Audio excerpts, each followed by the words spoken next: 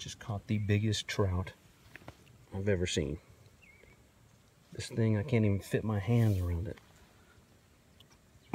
Look at how fat that thing is. I Can't even fit my hand around it. And no one's here. Took the egg. Shaking. Thing is.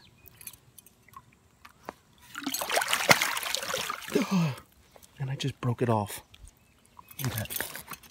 Gotta go.